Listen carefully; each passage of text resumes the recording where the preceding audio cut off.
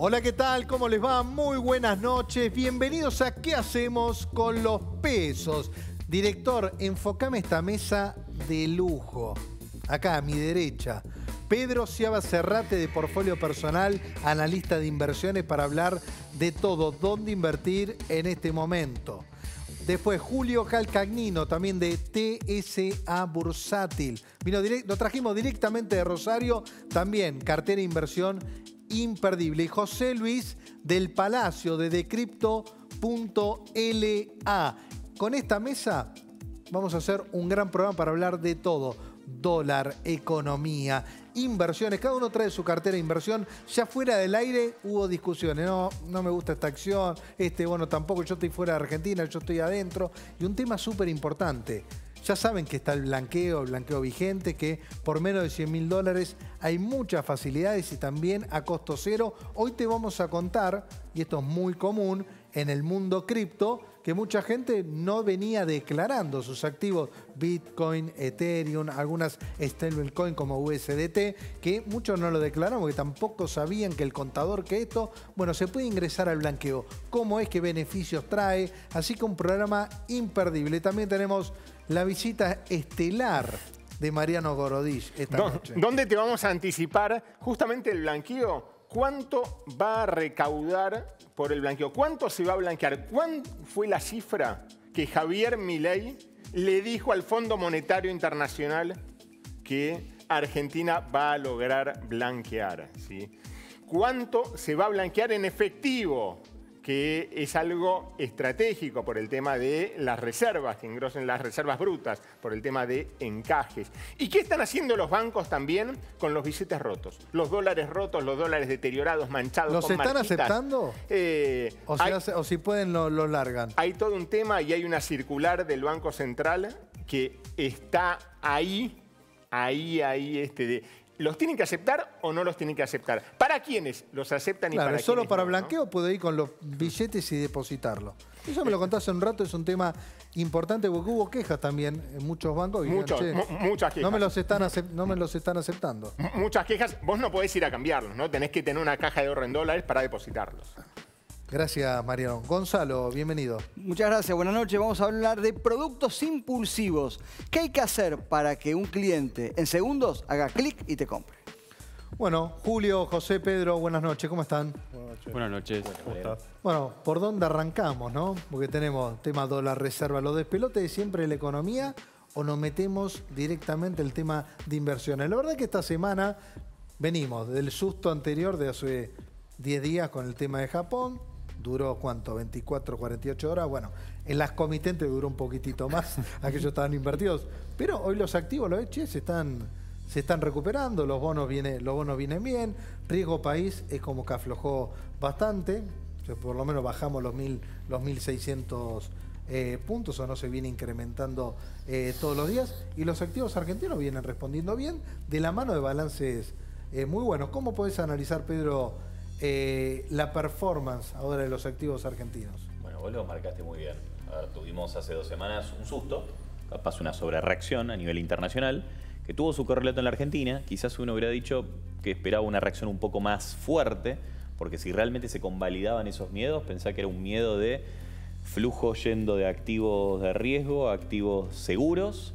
Eso para los países que están frágil financieramente, como la Argentina, hubiera sido muy malo y también hubiera sido es malo si hay una recesión eventualmente en, el horizonte del mundo, porque eso probablemente traiga precios de commodity más bajos y la Argentina es un país que para generar reservas necesita exportar.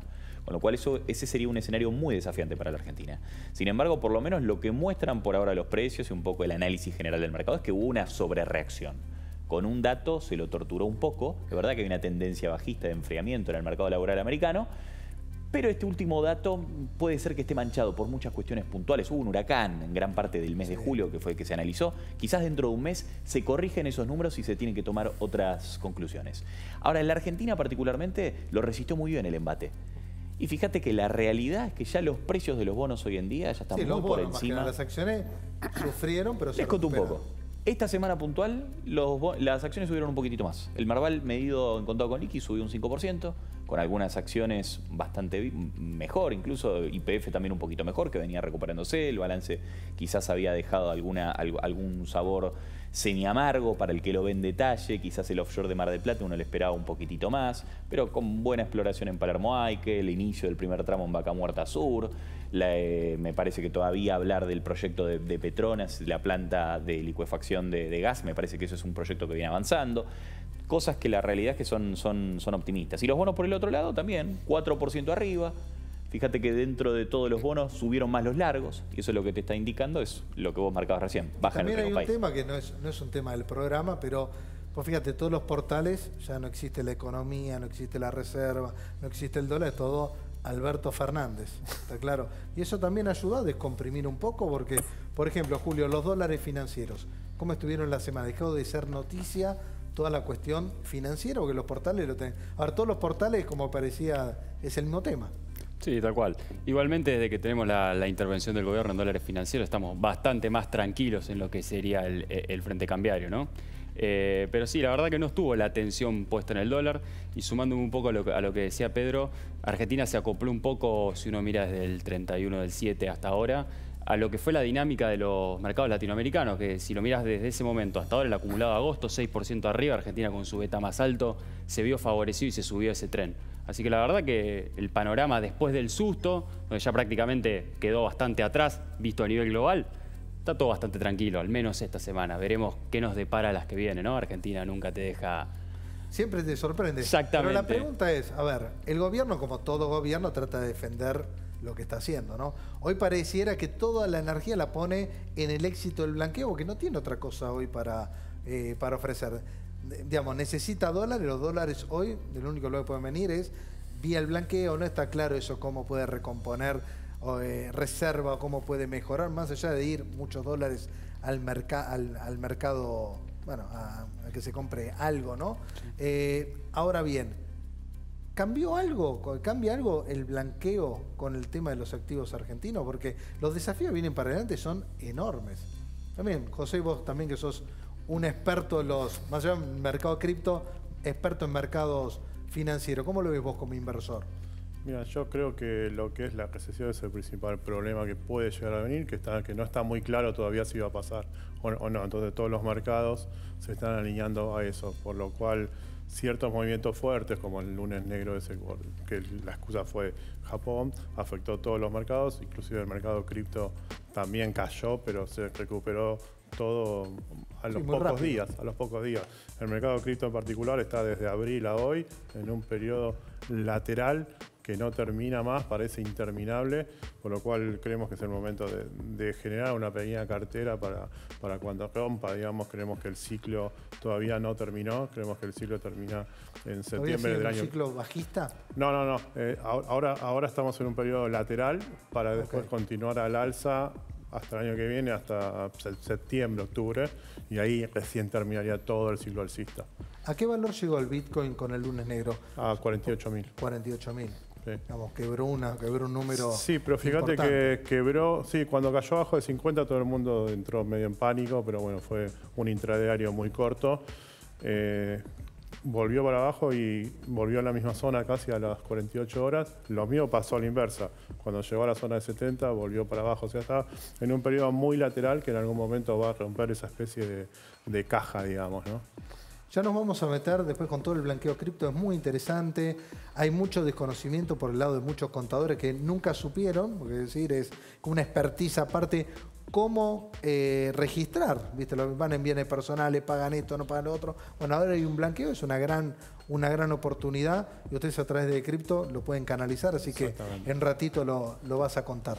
Pero hablemos un poquito de, de inversiones, ¿no? El dato de inflación, 4%, bien, por encima de lo esperado, esto hay que decirlo, cuesta romper la dinámica, porque el gobierno esperaba 3, vos decís 3,7 está cerquita, bueno, pero también creo que esperaba 3,7 para que sea más abajo también. Le afectó también el tema de, esta suba del dólar en el medio, fueron meses complicados de, la gestión. Tema, ¿dónde invertís hoy? Porque decís, lo único atractivo que hoy tenés en pesos, ¿qué son? Las letras, por ejemplo. que tenés que rezar de que no pase nada en el medio con el dólar. Porque también hay que decir esto en la Argentina, ¿no? Si el dólar está acá arriba, empieza a bajar, cada vez que baja, que está contento, significa que después vuelve a buscar un nuevo, un nuevo precio. Bueno, letras, ¿invertís en algo, en algo con ser? ¿Invertís hoy? ¿Hoy cuánto ve el dólar el mercado a fin de año? Muchos ya lo están viendo. En caso de que se salga el cepo, no ven un dólar a 1100, no ven un dólar a 1300. Algunos ya están viendo un dólar 1400, 1600, depende el economista. Entonces, un bono dual, un bono dólar link, me parece un momento estratégicamente importante para tomar decisiones. Me detengo primero en lo primero que dijiste que es clave, ¿no? Que el dato que nos sorprendió a todos. Incluso a las, a todos los números de alta frecuencia que estaban diciendo que el número iba a ser más bajo, no solamente en el general, sino también en la núcleo, la que justamente excluye todo lo que es estacional y regulado. Finalmente salió 4 general, 3.8 la núcleo, muy por arriba de lo esperado. Eh, me parece que se subestimó a nivel general el efecto que podía tener la volatilidad en los dólares financieros en el nivel de inflación. Ahora, hacia adelante, la realidad es que nosotros estamos todavía esperando que agosto vuelva a las, al sendero de tendencia bajista de la inflación. Y diciendo esto, y mirando un poco los precios de mercados, eh, a mí me da la sensación de que cuando uno, eh, más teniendo el mensaje de esta semana, que eso es algo súper importante, que es la idea del propio presidente, ¿no? Decir que no vamos a evaluar, y eso me parece que lo que esconde un poco detrás es la idea de decir que quizás vamos a un periodo donde el cepo se conserva y se conserva por un poco más de tiempo. Entonces, sin una, o por lo menos una baja en la probabilidad de salida del cepo este mismo año, yo creo que los niveles de inflación pueden realmente seguir hacia, hacia abajo. Y de esa manera, cuando uno mira una letra, que vos la sacaste a colación, las LECAPs, y mira lo que es la inflación que te deja indiferente entre elegir ajustable por inflación o letra, para los primeros meses del 2025 está más o menos en 3,5%.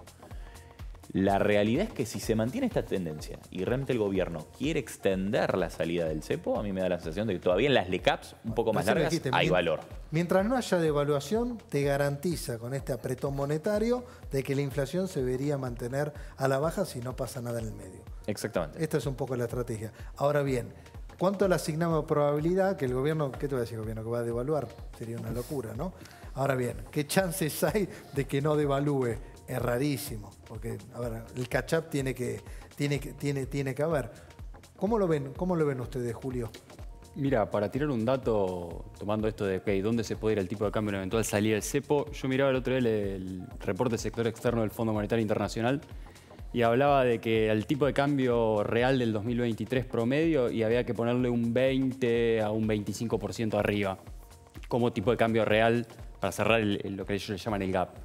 Y si mirás eso y sin entrar en numeritos finos, es más o menos el tipo de cambio real que está hoy detrás del contado con liquidación. Entonces sería como una convergencia hasta ese nivel. Caputo te va a decir, sí, pero ese modelo quizás lo corrieron cuando no había superávit fiscal, entonces ahí me tenés que evaluar con superávit fiscal porque el tipo de cambio real va a ser más bajo. Sí, pero también había otro precio de la soja. Entonces son varias variables las que te influyen en un tipo de cambio real. Cuesta pensar una salida de cepo a los niveles actuales del tipo de cambio oficial. La verdad realmente cuenta, cuesta. Y después, bueno, está el tema del timing. ¿Cuándo sucede? aparte, si fuera así que se cierra ese tipo de cambio, no te cierra el sector externo. Entonces es una, es una contradicción total. Sí, eso tomando un poco, el, en el programa anterior tuyo había venido Ferreres y él, él hablaba ahí del problema de competitividad de tipo de cambio, me parece que es algo que está un poco sobre la mesa en la duda de todos y si vos salís del cepo y vas a un esquema quizás más de fijación cambiaria y no tenés un tipo de cambio competitivo, a la larga vas a terminar comiendo las reservas que juntaste, si es que juntaste en ese momento de salida, ¿no?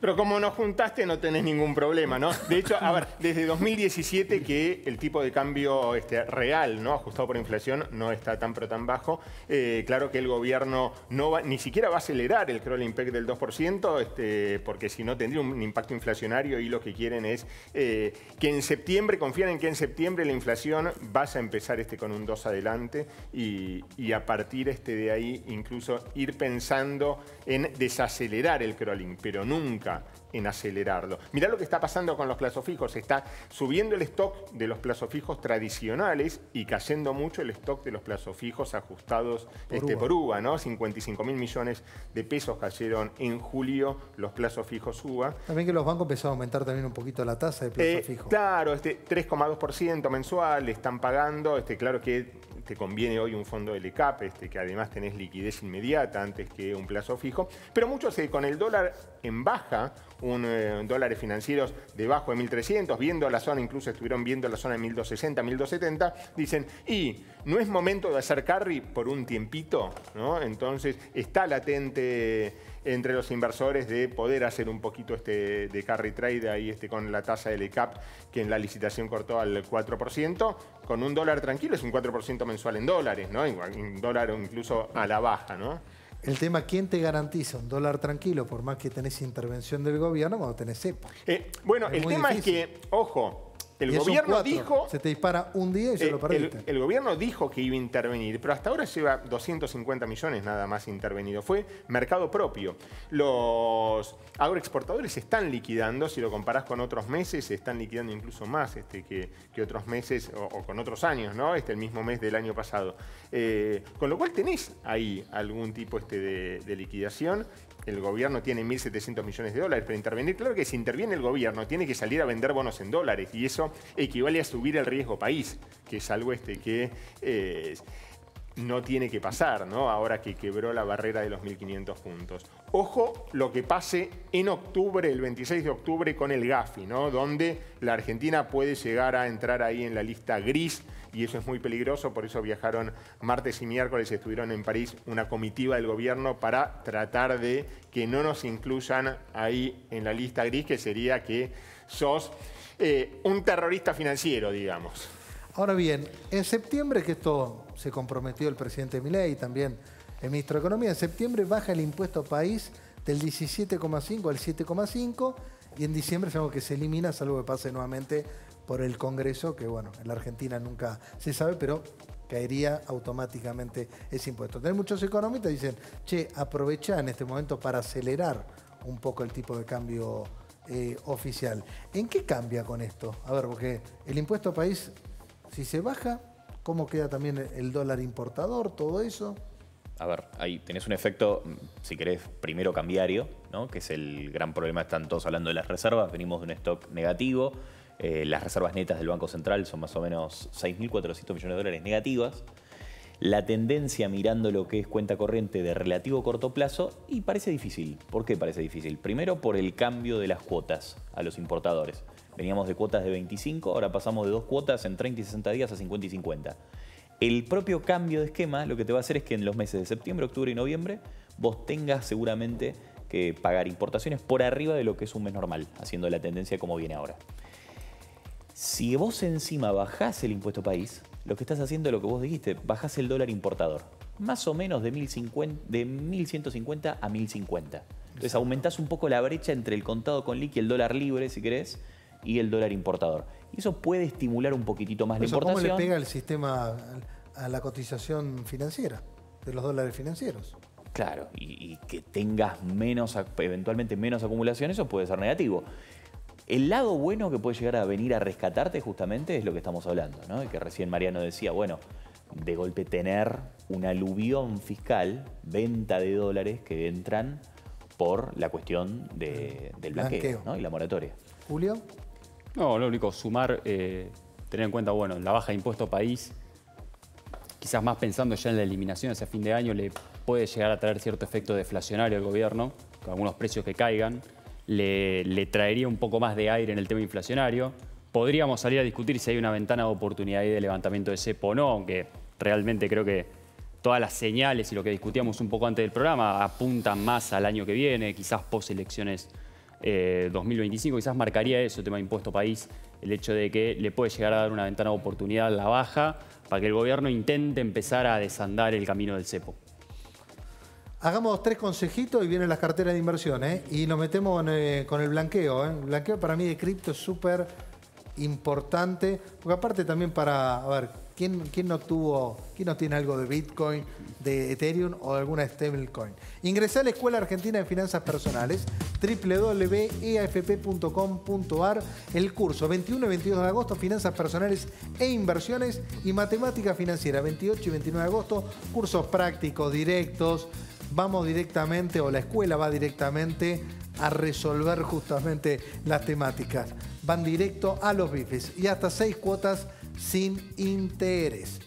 ¿Sabías que ahora podés hacer la ciudadanía italiana sin necesidad de sacar un turno y sin viajar a Italia? Contacta ahora con De Martin y Asociados al siguiente WhatsApp 11 61 79 44 86.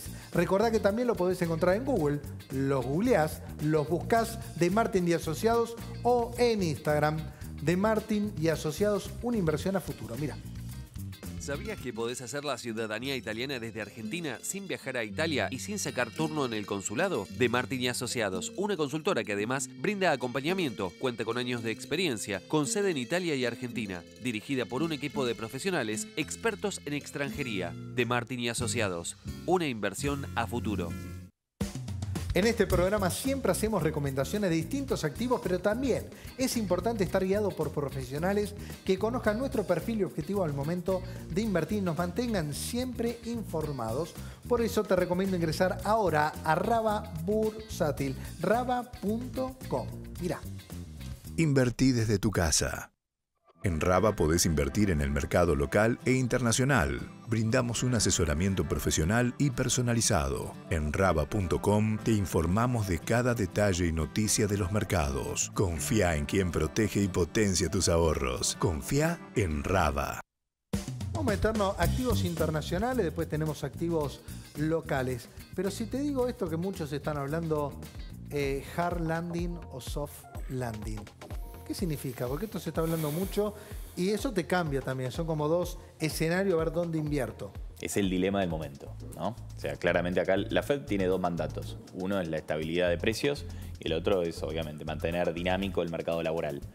Eh, el tema de precios, ya cuando uno mira los últimos tres meses, cuatro meses, y trata de ver el ritmo al que va la inflación núcleo, es más o menos de 1,6% anual por debajo de la meta. Si ves la general, 0,4, prácticamente nada. Los últimos tres meses prácticamente fulminaste la inflación.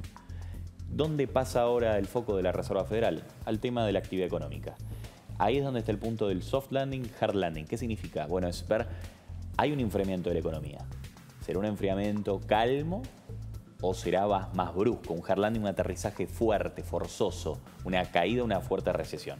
Ese es el dilema actual y dependerá mucho, obviamente yo estoy mucho más volcado a la idea de que esto es, esto es un enfriamiento natural, es pasivo. No hay todavía datos concluyentes en el mercado laboral, como se sobreexageró, yo creo, eh, hace dos semanas. Eh, eh, por el aumento de la tasa de desempleo. Sí, es verdad que aumenta la tasa de desempleo, pero también va aumentando la, la, participación laboral, con lo cual hay más ocupados y más desocupados también. Y todavía hay un incremento en el cambio de nóminas. Es verdad, hay, es menos fuerte de lo que era hace unos meses atrás, pero también tenés el correlato en la inflación mucho más tranquilo. Bueno, mire, es construir tu propia aventura, ¿no? Elige tu propia aventura. Bueno, acá tenemos la cartera internacional, eh, el escenario hard landing, y acá tenés la recomendación. O el bono americano largo. Tal cual. No tenés inflación. Y eventualmente, si vamos a un hard landing, y bueno, la expectativa de actividad va a ser muy mala, con lo cual no tenés, no tenés inflación, no tenés tasa real, la tasa nominal, que es en los bonos del tesoro largo, donde más valor le puedes dar. Todo el mundo va a querer ir a refugiarse a treasuries, a, bonos del tesoro americano, con lo cual ahí vas a tener una mayor ganancia. Bueno, y después acciones de valor o que paguen dividendos. Tal cual. Acá todas, si todas tienen, por ejemplo, CDR, así que podés invertir desde pesos en la Argentina. Puede ser, acá puede ser que bajen, lo que sea relativamente a todo lo que es, por ejemplo, tecnología, van a ser muy defensivas. ¿Cuáles son? Y son las que tienen valor, son las que tienen cash flows seguros, son las que pagan grandes dividendos algunas alternativas en CDR que tenemos en las carteras en PPI. Por eso, ExxonMobil, Chevron, Chevron Barricol, JP Morgan, Coca-Cola. El Bank of America y Johnson, Coca-Cola. Exactamente. Bien, esta es una cartera, digamos, para este escenario. Ahora vamos al otro escenario. Vamos. El que está un poco más constructivo, más optimista y la recomendación fuerte al medio, ¿no? Y con la diversificación incluida. Es el CDR, que repica el ETF, tanto el del S&P 500 como el del Nasdaq. Nasdaq un poco más agresivo, las tecnológicas son las que más favorecidas van a verse en caso de que finalmente la Fed no haya perdido las, las riendas del asunto, el SPY un poquitito más tranquilo. También esto podemos invertirlo de SDR. Dato clave de la última recopilación de la última temporada de balances, del segundo trimestre. Eh, es un análisis de inversión muy divertido. ¿cuánta, en, en todos los resultados de las 500 empresas del S&P, cuántas veces se refieren en- desde el 15 de junio hasta el 15 de agosto en la palabra recesión? No sé. 28 veces. ¿Sabes cuánto fue el promedio de los últimos 5 años? 83. No sé si es porque ahora tienen más miedo, entonces directamente no lo dicen, o realmente todavía las empresas que han tenido buenos resultados, incluso con beneficios por acción por arriba, de- con sorpresas pos- positivas por arriba del promedio de los últimos 5 años, no sé, porque están viendo todavía muy bien el negocio o porque por cábala no lo quieren decir. Julio, ¿por qué aterrizaje vas vos? ¿El aterrizaje hard o el aterrizaje soft? Estamos más con el aterrizaje soft en el, equipo de Research de ese bursátil. Eh, creemos que sí, que estamos en un escenario más de, de desaceleración, un poco de enfriamiento, pero no esperando lo que sería una, una recesión o algo por el estilo. Sí sé que hace un tiempo, año 2022, tuvimos miedo que se viniera una recesión, pienso que estuvo bastante en el mercado y las cotizaciones lo reflejaron, no fue un buen año para el equity.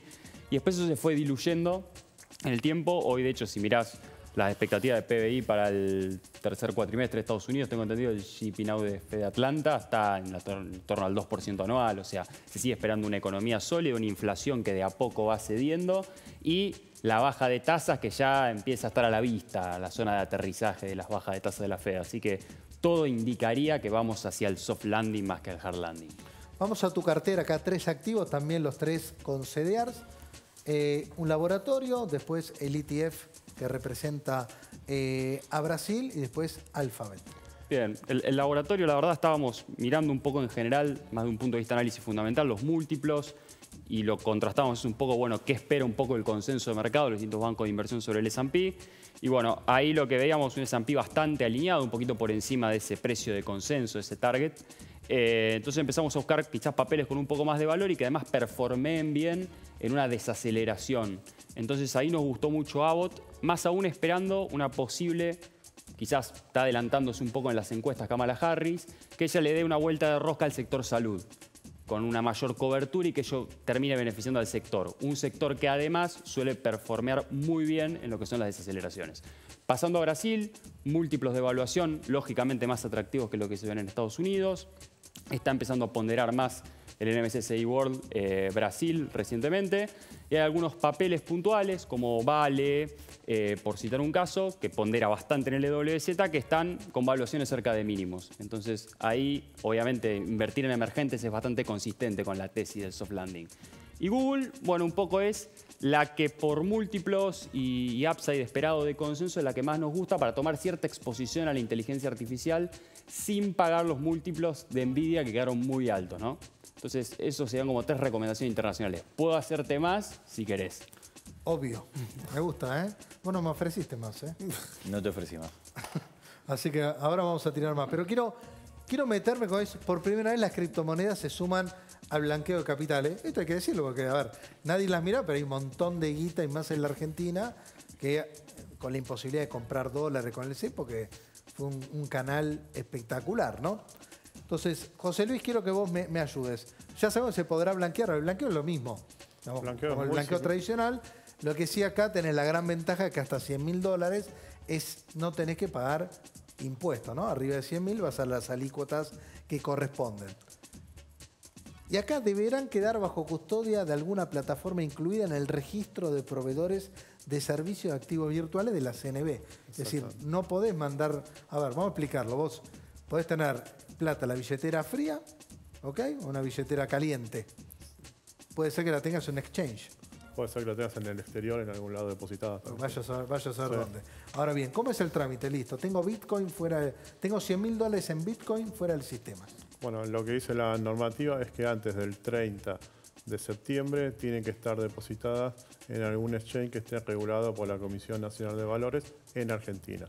Por lo cual, la tengas donde la tengas, la vas a tener que depositar y recién ahí te la podés usar para adherirte a blanqueo y puede ser cualquier criptomoneda, Bitcoin, Ethereum, monedas estables, cualquier, cualquier moneda puede ser.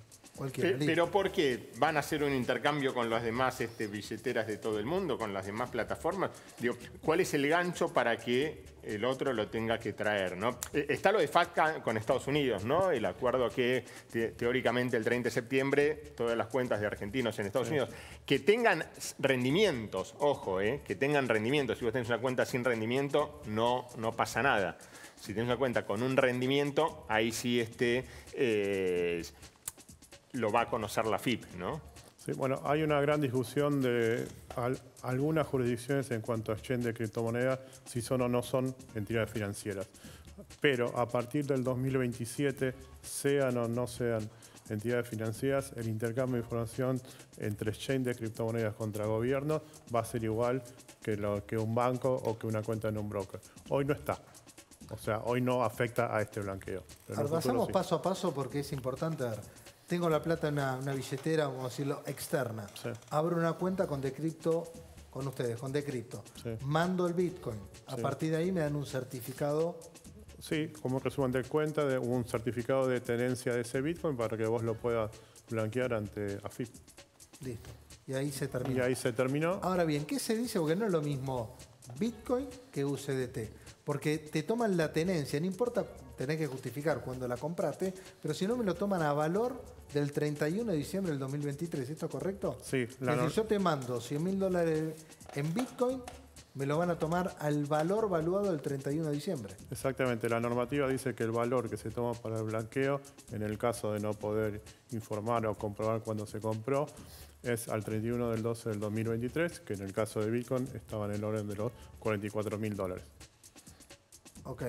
Bueno, ahí hay que ver, hacer la cuenta para que no pague, no pague de más. Claro, sí. Bueno, y en sí. este caso, ¿te conviene entonces blanquear Bitcoin y te conviene blanquear otra cosa? Porque si hoy está más alto, o al momento de realizar el blanqueo, ahí no tenés el, el impuesto El por la diferencia. Sí.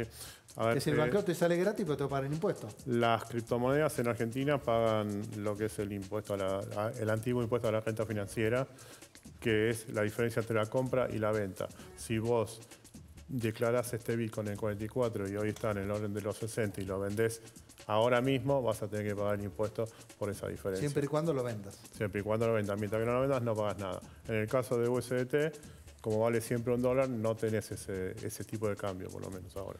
¿Y qué recomendación la le haces a la gente que tiene Bitcoin, Ethereum, UST? ¿Es todo lo mismo? ¿No hay problema mientras no lo venda? Se puede blanquear el que quieran.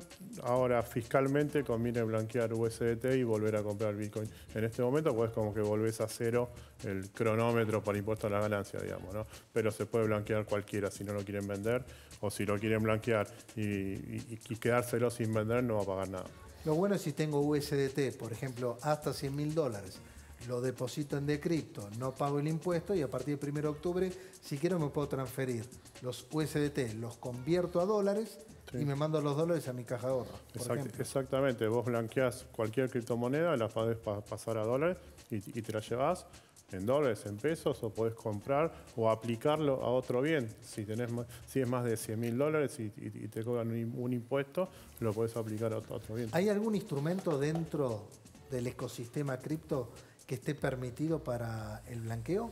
¿O tengo que, salir del sistema? Tenés que salir No es que del el, sistema, el staking no está permitido, No. por ejemplo. No, todos los instrumentos seleccionados están en el mercado más regulado. sí. Claro, por eso la clave de blanquear USDT, porque vos, aunque tengas Bitcoin, en algún momento lo vas a vender para comprar alguna otra cosa. Entonces, digo, el peor negocio del mundo es este blanquear Bitcoin hoy. Por, por el impuesto a las transferencias, conviene- por el impuesto de renta financiera que en algún momento lo vas a tener que pagar. Te conviene blanquear USDT y, y volver a comprar Bitcoin para volver a cero. Sí. Salvo que te lo quedes a- como muchos holdean y te lo quedes a finish. Sí, eh, la única forma de no pagar impuestos es, pa- es poniéndolo como garantía y sacando un crédito y, bueno, ahí comprás y seguís comprado. Que es Bueno, muy, ¿viste? Este es un dato bueno, en, importante. en Estados Unidos es muy, es muy normal hacer eso, es muy normal hacer eso. Es más, inclusive... eh, Eh, hay más mercado también, ¿no? Es, es otra liquidez que acá. no, no, pero acá también tenés. eh, sí. Bueno, ya sabes, algo más que para agregar es sencillito. El trámite es muy sencillo, no tiene ninguna obligación de, de- de dejar los bitcoins en costo custodia, en no tiene costo, lo dejan ahí, se lo llevan al otro día, hay que hacer el certificado y no mucho más que eso. Bien, ¿cómo venimos de tiempo, Diré? Parece. Ok, vamos a meter. Me dijiste que querías algo más. ¿Qué, qué más? Eh, ya que ofreciste, Julio. ¿Tenés algún activo en particular? Bueno, nada, a nivel internacional lo que estamos viendo ya para los inversores más conserva.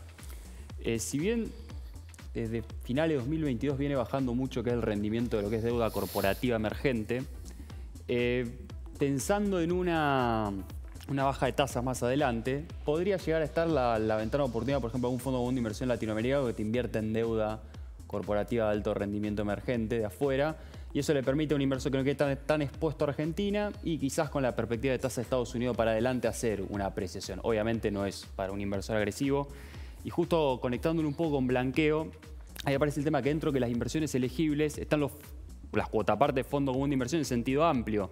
Entonces, este tipo de vehículos puede permitirle a un inversor tener offshoreizado todavía, estar expuesto a riesgo internacional sin efectivamente caer en entrar a riesgo argentino por blanquear, ¿no? Y gozar del beneficio, estar dentro de una inversión elegible para no pagar impuesto especial. Eh, Sabés que hay una guerra en- por las cuentas de regularización fiscal, ¿no? Este, el blanqueo.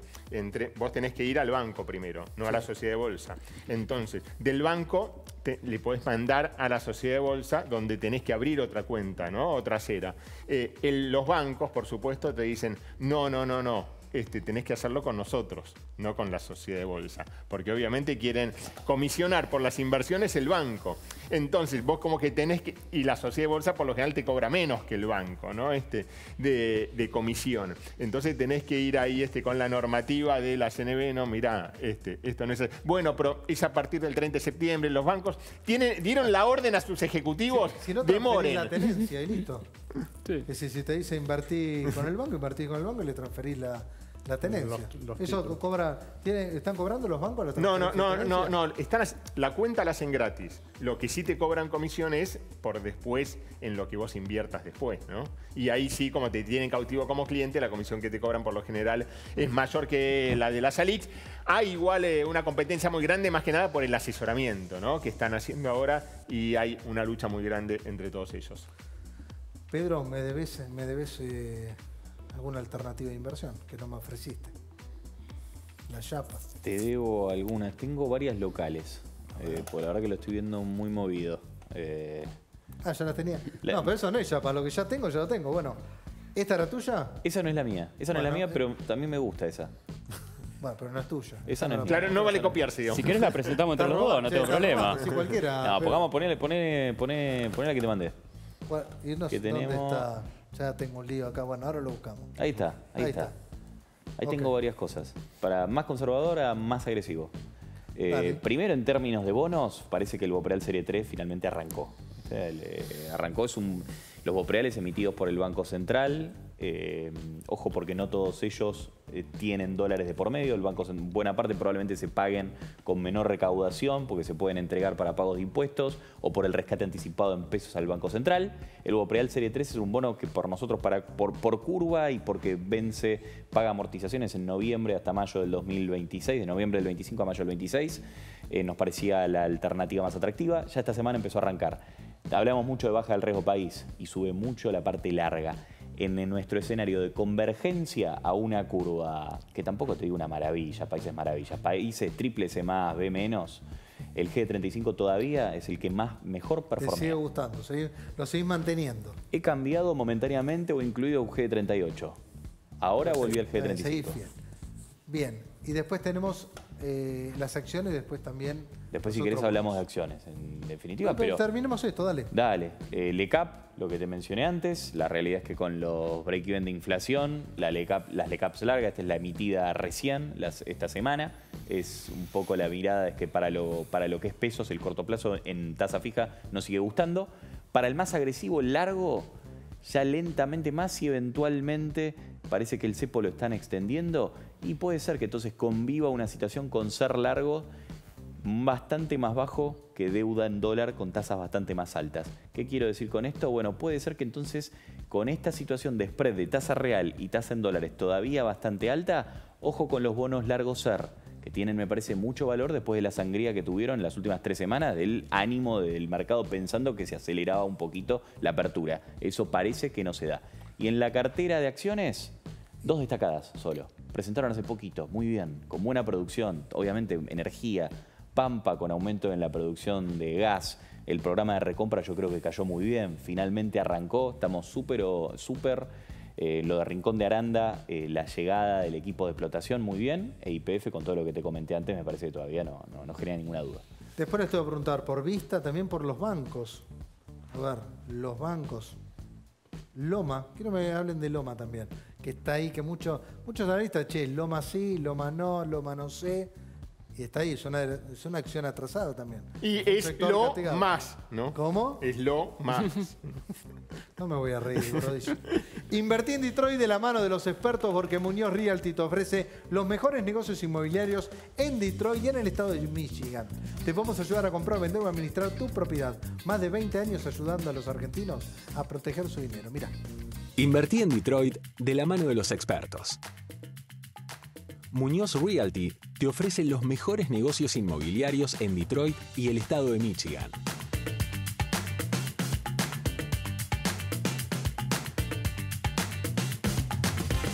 Te podemos ayudar a comprar, vender o administrar tu propiedad. Más de 20 años ayudando a los argentinos a proteger su dinero. Presentamos una novedad de nuestros amigos de E-Inversiones. Podés invertir en oficinas locales o departamentos dentro del Parque de la Innovación. El nuevo Puerto Madero que se está construyendo en Núñez. Tenés opciones de inversión desde 37 mil dólares. Ingresá en einversiones.com.ar e informate. Hacemos el último, Fede, que tenemos ahí. Barriolamagdalena.com.ar, un barrio que lo tiene todo ubicado en Canning. Barrio con forestación centenaria, bosque natural, ecoparque, un barrio consolidado. Que eso es muy importante porque si vas al barrio está todo construido, hay comunidad, no es un proyecto, una maqueta, un render, un barrio que lo tiene absolutamente todo. Además de dos zonas deportivas, más de 10 hectáreas, tenés skate park para los chicos, obviamente, parque acuático y amenities de primer nivel. barriolaMagdalena.com.ar. Ya vamos a seguir con el tema de las carteras, ¿eh? Pero Gonzalo. Vamos a hablar de productos impulsivos. ¿Qué son los productos impulsivos? ¿Viste cuando vas a un kiosco y te gusta un alfajor lo agarras de inmediato? Bueno, eso es un producto impulsivo que te genera algo desesperante para poder tenerlo. Esto funciona mucho en las redes sociales y la creación, el diseño de productos está pensado mucho para eso. Vamos a ver cuatro ejemplos de lo que son productos impulsivos que en realidad son productos que en realidad no necesitas que no te cambian la vida, pero lo querés de forma desesperada. En este caso vamos a ver primero, que se trata de cédulas o DNI para perros, que por supuesto no existen, es un invento, simplemente con un poquito de diseño, uno lo mira, ay qué lindo mi perrito, quisiera tener esta cédula, va, haces clic y compras. Mira esta segunda. En este caso se trata del famoso casconcito de pañuelos. Tenés un poquito, querés sonarte en la nariz, lo tirás, es una cuestión estética, linda. ¿Te cambia la vida eso? En absoluto. Pero mira qué lindo, mira qué simpático para redes sociales. Vamos a ver el tercero. En este caso, muchos les gusta cantar en la ducha, Gordich canta en la ducha. ¿Cómo? Pero además te tira agua y te puedes bañar. Come Son- también, mira vos. Son todos productos impulsivos que en realidad no necesitas, pero vos lo ves y querés de inmediato. Atención, abran el audio, porque este es el mejor producto que vi en los últimos días. Vamos al segundo. Dale.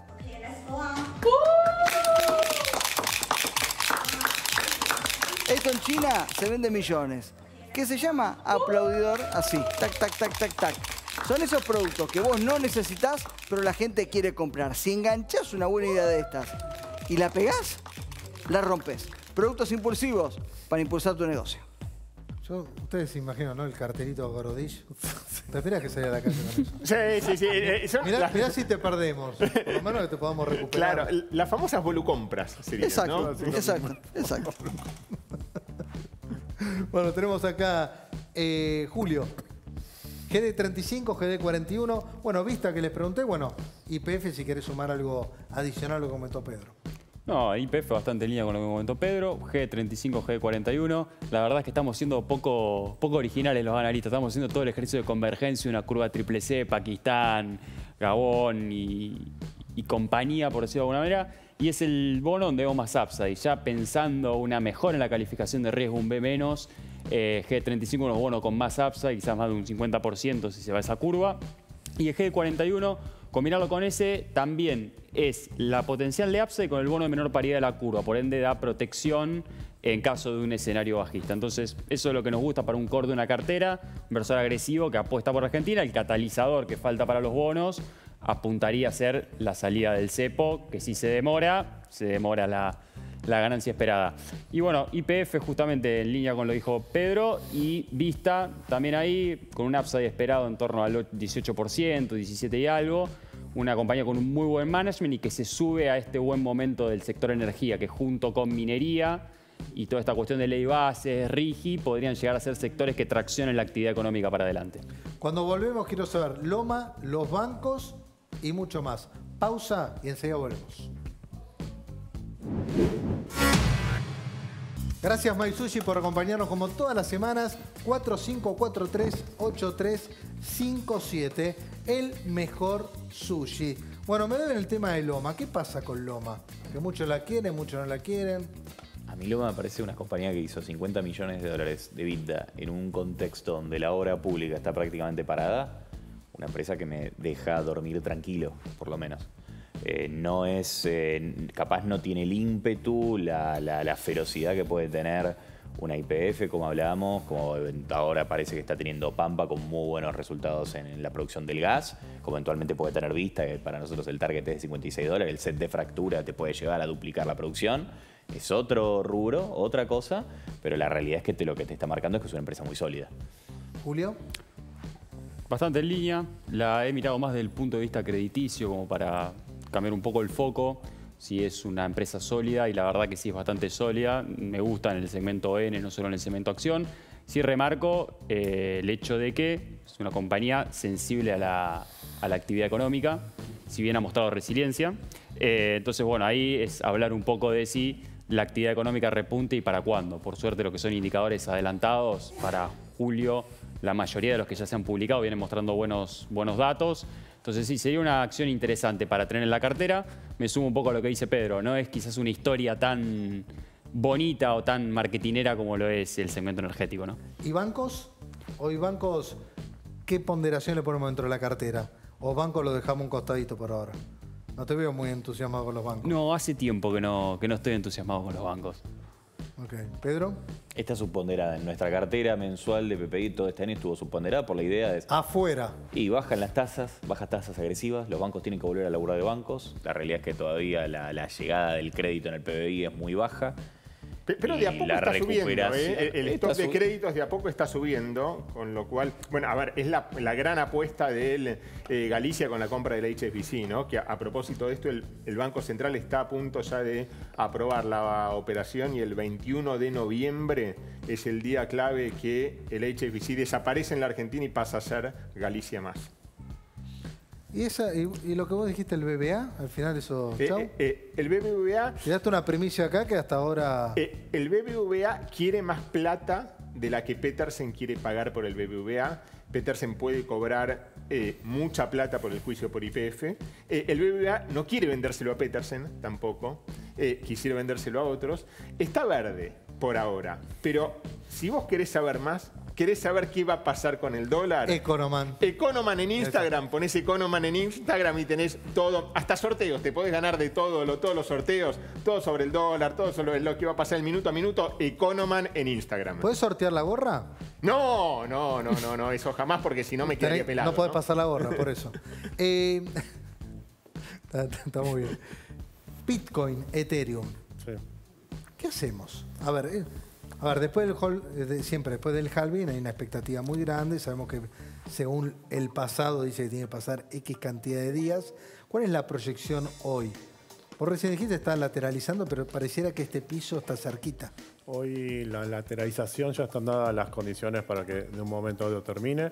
Terminará en los próximos días o el mes que viene. El momento de acumulación, digamos. Claro, está en un proceso de acumulación, de arm- rearmado de carteras, donde hoy se demostró Bitcoin que en el largo plazo funciona. Fíjate que las altcoins casi ninguna pudo romper el máximo de- del, del 2021 inclusive. Eh, por lo cual Bitcoin pasa a ser el principal asset. Ethereum hoy ya tiene su CTF, por lo cual hay un volumen de compra que no va a ser como Bitcoin, va a ser un 20% más o menos de eso. Y después tenés todo un mercado nuevo. Por ejemplo, yo soy muy optimista con el mercado de tokenización, que ya lo hemos hablado, donde ahí hay, una, hay un token que se llama Hondo, que está fondeado por BlackRock, por ejemplo. Que es, Hondo. Sí, que es uno de los fondos más grandes del mundo, si no es el más grande del mundo, por lo cual toda la tokenización de esos grandes fondos de ellos van a ir a ese token, por lo cual tiene un fundamento extremadamente alto y bueno, el precio ahí sí lo puedes multiplicar varias veces con un riesgo, por, por supuesto, también alto. Me gusta.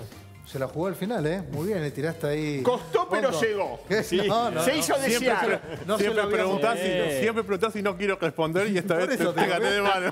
Hoy te cuidé, te dije no te pregunté muy. Claro, de a poquito, de a poquito le vamos sacando. Solito, lo tiene, lo tiene que tirar solo. Recordá suscribirte a nuestro canal Mundo Dinero en YouTube porque tenemos, siempre subimos el programa y nuevos contenidos. Y recordá que los martes 18.30 estamos con ¿Qué hacemos con los pesos? Versión streaming. Julio, José Luis, Pedro, muchas gracias. Gracias Goro, gracias Gonzalo. Eh, buen fin de semana y nos reencontramos la semana que viene. Chau, gracias.